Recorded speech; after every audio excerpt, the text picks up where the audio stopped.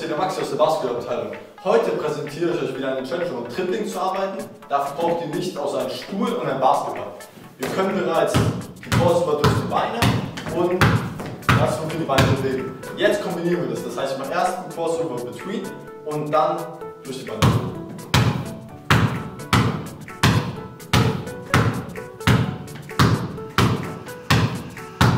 So, das ist die Challenge, jetzt seid ihr dran. Nehmt ein Video auf, guckt, wie oft ihr es schafft und schickt es in eure Mannschaft.